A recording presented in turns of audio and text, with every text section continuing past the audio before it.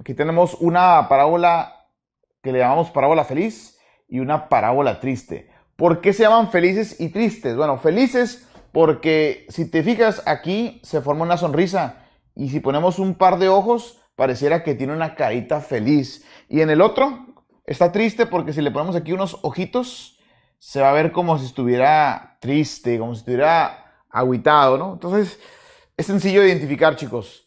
Las funciones cuadráticas son figuras que se llaman parábolas verticales y hay de dos tipos, las felices y las tristes. Ahora, ¿cómo se puede identificar, digamos, eh, no, no de manera visual, sino de manera algebraica? Aquí, como pueden observar, aquí se nota luego, luego, las ecuaciones de cada una de ellas.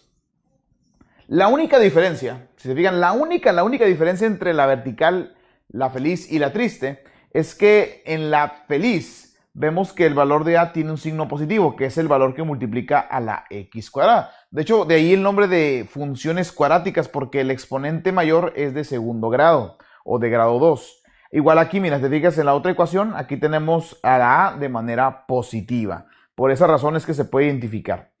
Además, estas dos ecuaciones describen perfectamente la parábola, solo que esta ecuación se llama ecuación general, la que está aquí arriba, y la que está aquí abajo se llama ecuación normal. Ahora, ¿qué otra cosa importante de esto?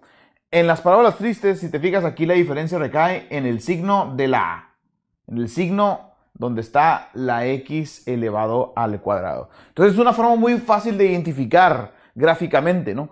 Cuando veas una parábola así feliz es porque la A es positiva. Recordemos que lo que nos hace felices nos hace completamente positivos y lo que nos haga tristes visualmente nos hace negativos. Ahí está. Y esta es la forma más rápida y más simple de detectar, de determinar si es una o la otra.